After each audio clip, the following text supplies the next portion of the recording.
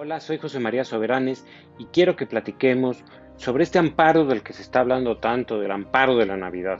¿De qué se trata el asunto?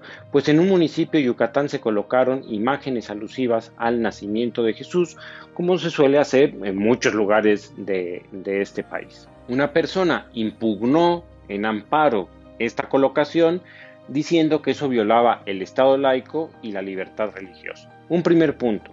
Los recursos públicos no pueden utilizarse para promover ni para prohibir ninguna religión. Debe existir una separación entre religión y Estado porque así se garantiza la libertad de conciencia de todos. Sin embargo, el proyecto del ministro González Alcántara Carrancá propone declarar inconstitucional esto porque con la colocación de imágenes, dice, se busca imponer una determinada convicción religiosa a las personas. Yo no creo que se adopten creencias religiosas por ver un símbolo religioso. Yo creo que las personas somos seres racionales que no vamos cambiando de convicciones religiosas por andar viendo símbolos. Me parece que se puede pasar delante de una mezquita, de una sinagoga, de una iglesia y no por eso me voy a convertir a la religión que se profese dentro de ese templo. Se puede ver una danza religiosa indígena y no por eso las personas van a empezar a adorar a los dioses indígenas. Lo fundamental, insisto, es el uso de recursos públicos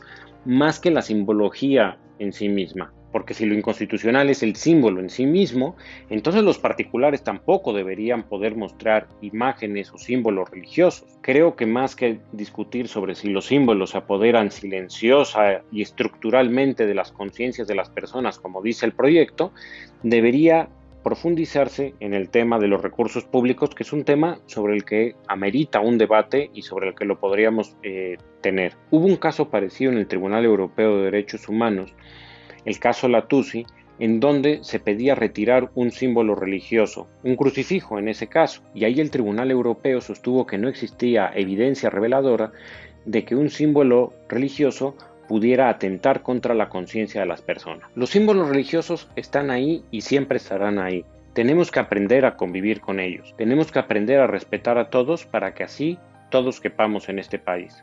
¿Ustedes qué opinan? Muchas gracias.